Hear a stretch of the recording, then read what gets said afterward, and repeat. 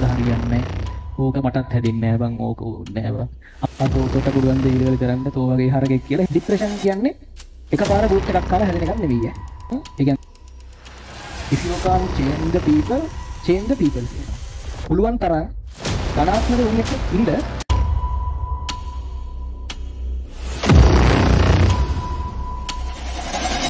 වටේ ඉන්නේ උන් ටොක්සික් නම් අනිවාර්යෙන් කෙලවෙනවම තමයි ඈ. අත්දැකීමෙන් කියන්නේ ඕන තරම් මම දැකලා තියෙනවා වටේ ඉන්නේ උන් විස සහිතයි නම් හරි අමාරුයි මිනිස්සෙක්ට ගොඩ යන්න.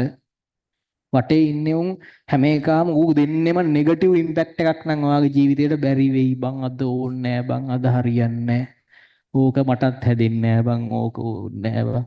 අමාරුවෙන් එස්සයක් දාගත්තාම ඇති බං. අපිට පුළුවන් ද බං බී එකක් දාගන්න හරිද?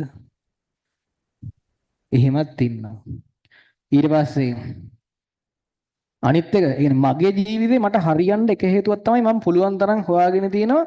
වටේ ඉන්නේ උන් සාමාන්‍යයෙන් කුහක නැති මට වඩා හොඳ පොසිටි කියන්නේ මට වඩා ලොකු දෙයක් කරපු උන් එක්ක මට පුළුවන් නම් මේ උන් එක්ක එකතු වෙන්න මම පුළුවන් තරම් හැම වෙලාවෙම ගිහින් උන් එක්ක එකතු වෙනතර මට උන්ගෙන් පොසිටිව් මේ වගේ නෙග ඍණ ආරෝපණය නා වගේ උන්ගෙන් ධන ආරෝපණය. පුළුවන් තරම් ධනාත්මක උන් එක්ක ඉන්න ගෙවල් දැන් සමහරලාට ගෙවල් වල එහෙම ඕව වෙනස් කරන්න බෑ. සමහරලාට ගෙදර මිනිස්සුම ඉන්නවා අපෝ තොට පුළුවන් ද ඒලිවල කරන්න තෝ වගේ හරකෙක් කියලා එහෙම කියන්න පුළුවන්. අපි දන්නවනේ උඹලා හැටි කියලා ගෙදරම ඉන්න කට්ටිය කියනවා දැන්. එහෙම තියෙනවා. ආච්චි කෙනෙක් හරි තෝ කරන ඒලෙවල් කියලා එහෙම කියනවා. හරි. කරන්න දෙයක් නැති ඒවෙන් ඉතින් ගෙදර මිනිස්සුත් එක්ක මිනිස්සු වෙනස් කරන්න බෑ. ඔය නෙගටිව් මිනිස්සු පොසිටිව් මිනිස්සු කරන්න හරි අමාරුයි. ඒත් අපිට උන්ව වෙනස් කරන්න බෑ. gedara මිනිස්සෙක් හරි වටපිටාවේ මිනිස්සෙක් හරි කියනවා නම් ඕක හරි අමාරුයි. ඔය වෙනස්කම කරන්න අමාරු දෙයක්. ඒ නිසා මේ මිනිස්සුත් එක්ක ගැටෙන එක නවත්තන්න. ඔළුවට ගන්න එක නවත්තන්න. අපේ ඔළුවට ඔය වගේ දේවල් එන්න එන්න එන්න එන්න එන්න එන්න එන්න අපිට කෙලවෙනවා. ડિප්‍රෙෂන් කියන්නේ එකපාර බූට් එකක් කාලා හැදෙන එකක් නෙමෙයි ඈ. ඒ කියන්නේ දැන් ඔය හිතාගෙන ඉන්නවනේ මට අර ගෑන් ළමයා තරහ වෙච්ච හින්දා මේ පිරිමි ළමයා තරහ වෙච්ච හින්දා ડિප්‍රෙෂන් හැදුනා. එහෙම ડિප්‍රෙෂන් හැදෙන්නේ නැහැ. ડિප්‍රෙෂන් කියන වචනේ තේරුම තමයි ડિප්‍රෙෂන් කියන්නේ. ડિප්‍රෙෂන් ડિප්‍රෙස් කියන්නේ මොකද්ද? කම්ප්‍රෙස් කියන කතන්දරේ. ඒ කියන්නේ සම්පීඩණය වෙලා තියෙන්නේ. ඒ කියන්නේ ඒ මනුස්සයාට අවුරුදු ගාණක් ආපු සිදුවීම් වල නෙගටිව් ඉම්පැක්ට් එක ඔළුවේ එකතු වෙලා එකතු වෙලා එකතු වෙලා එකතු වෙලා එකතු වෙලා එකතු වෙලා යම් සිදුවීමකින් ඒක උත්ප්‍රේරණය වෙලා එළියට පයින්නවා. සිදුවීම තමයි අර බෝට් එකක් ආපු එක. හෝ මොකක් හරි වෙච්ච දේ.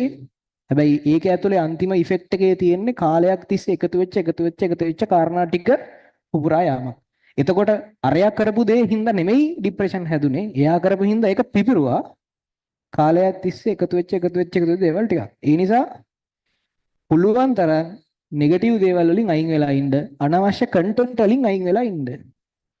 ලංකා මිනිස්සුන්ට ડિප්‍රෙෂන් එහෙම හැදෙනවා ප්‍රවෘත්ති බැලුවහම. අවුරුදු පහක් විතර ප්‍රවෘත්ති බැලුවහම උඩ ડિප්‍රෙෂන් හැදෙනවා. හරි. ඒ නෙගටිව්මනේ දෙන්නේ.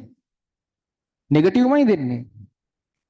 ඒකෙන් වෙන්නේ නිකන් දැන් ඔයාලගේ ඔළුවල් ඇතුලේ නිකන් අමුතු බරක් වගේ තියනවා කියන්නේ ඕන් ඔහොම දෙයක් තියනවා කියන්නේ නිකන් ඉන්නකොට නිකන් බර ගතියක් මහන්සි ගතියක් තියනවා කියන්නේ ඔන්න ඔය වගේ කුණු කන්දල් ගොඩක් ඔළුවේ තියනවා කියන එක. ඕක ටික ටික දැන් අයින් කරන්න ඕනේ. නිකන් ඉන්නකොට හිතලා බලනකොට නිකන් ඔළුව උඩින් මොකක් හරි තියලා තියනවා වගේ තේරෙනවා නම්. ඒ කියන්නේ එකතු වෙච්ච කුණු කන්දල් සමූහයක් තියෙනවා. ඒවා දැන් අයින් කරලා දාන්න ඕනේ. ඒක අනිත් පැත්ත අයින් කරන්න වෙන්නේ හොඳ දේවල් වලින්ම තමයි. පොසිටිව් දේවල් වලින්ම තමයි. වටේ පිටේ ඉන්නේ උන් හොඳ කරගන්න එකෙන්. හරි? අර පට්ට කියමනක් තියෙනවා දියුණු වෙන්න ඕන නම් if you can't change the people change the people කියලා. if you can't change the people change the people. ඔයාට වටේ ඉන්නේ උන් change කරන්න බැයි නම් ඔයා වටේ ඉන්න එවුන් මාරු කරන්න කියලා. if you can't change the people change the people. වටේ ඉන්න එවුන්ව ඉන්න එවුන්ව හොඳ කරන්න බැයි නම් ඌ නෙගටිව් ගතියෙන් අයින් කරන්න බැයි නම් උන්ව අයින් කරන්න. හරි? එහෙම නැත්නම් මේක ගොඩ දාන්න බෑ. මම දැකලා තිනවා ඔය ඌ පට්ට හොඳ එකෙක් වටේ ඉන්න උන්ගේ තියෙන Tamanට වටේ ඉන්න උන් කියන්නේ යාළුවෝ විතරක් නෙමෙයි ඈ. යාළුවන්ගෙටත් වඩා ගොඩක් නෑදෑයෝ හෝ ආශ්‍රය කරන උන් හෝ gedara මිනිස්සු හෝ ඔය සමස්තයක් විදිහට ඔයාට එන්නේ හැම වෙලාවෙම ඍණාත්මක බලපෑමක් නම් හරි අමාරුයි ගොඩ යන්න. අයින් කරලා දාන්න වෙනවා. නැත්තම් Tamanට ජීවිතේට ගොඩ යන්න වෙන්නේ හරි ඊට පස්සේ අහගන්න. මේක තේරෙනවනේ. ඕක කරන්න පුළුවන් ඕනෙම සුද්ධ කිරීමක් කරන්න පුළුවන්. Taman දැඩි තීරණ ගන්න එක විතරයි කරන්න වෙන්නේ. ඒක විතරයි කරන්න ඕනේ. නැත්තම් නිකන් බොරු බරක් ඇදගෙන ඉස්සරහට යamak තියෙන්නේ.